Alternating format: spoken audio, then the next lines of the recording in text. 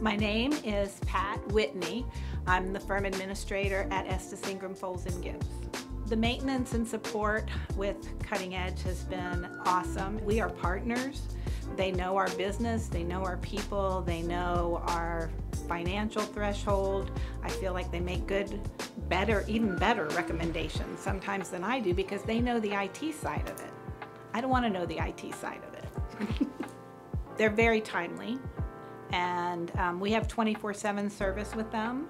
So they're available during regular business hours or after hours. We're getting ready to start a trial. They're available to assist our trial team.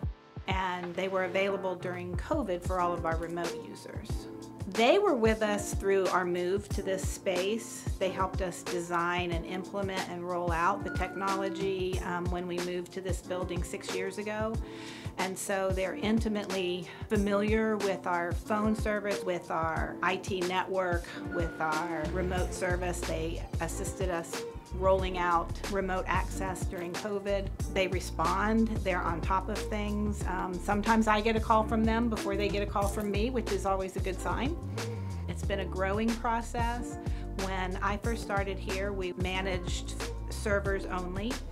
And because we grew and the technology, the need for technology grew, our reliance upon them grew. I'm a member of the Association of Legal Administrators, and whenever we meet, we speak very highly of the vendors we use and the business partners we have.